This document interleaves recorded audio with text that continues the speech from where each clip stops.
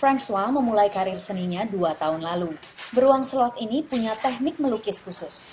They've got big, big lungs and they can suck things up, and then in the same breath, they can exhale a huge amount of air.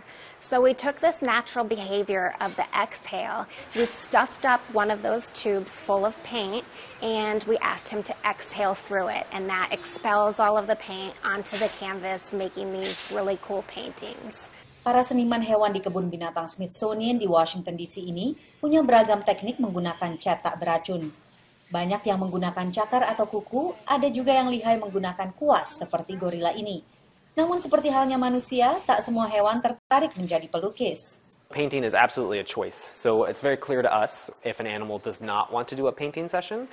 And if that's the case, we'll stop it right away. We'll choose another animal and give them the opportunity to do it. Namun Francois sang beruang tampak menikmati hobinya ini. When I set up the materials for a painting activity, he comes and sits next to them and waits until we're ready to start painting. Bagi yang tak suka seni lukis, musik bisa jadi pilihan. Intinya, berbagai kegiatan simulasi fisik dan mental ini diharap bermanfaat bagi hewan. Para penjaga hewan menggunakan sejumlah alat bantu, mulai dari tablet komputer hingga mainan. Ada juga manfaat tambahan.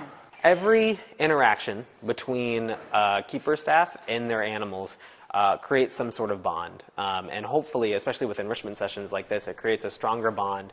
Berbagai karya seni hewan ini sangat diminati pengunjung dan dijual di acara penggalangan dana kebun binatang.